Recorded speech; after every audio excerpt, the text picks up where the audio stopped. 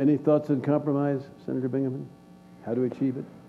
Well, I, I, again, I don't think there's, uh, you know, I, I think uh, maybe we ought to have, have uh, PACs put together, uh, political action uh, committees put together that uh, have as their one objective that they will, they oppose anybody who is running for office who will take a pledge.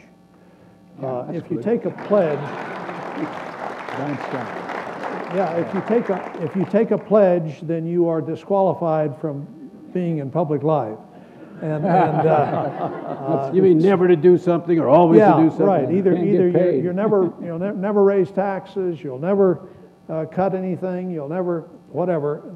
All those pledges are, are an obstacle to, to compromise. And if we could, we could get the public to recognize that there's a value in electing people who are not willing to take a pledge, uh, I think that would help.